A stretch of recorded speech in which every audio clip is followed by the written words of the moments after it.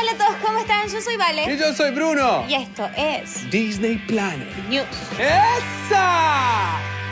La gira de Soy Luna sigue por Europa y en unos días los chicos van a llegar a Francia y a Suiza, o sea que cada vez falta menos para que lleguen a Latinoamérica.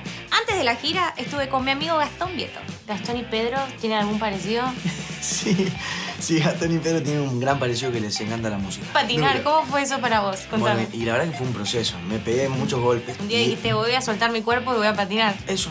Y ese es el mensaje de Soy Luna también, que todos podemos. Nos vemos la semana que viene acá. En Disney Planet News.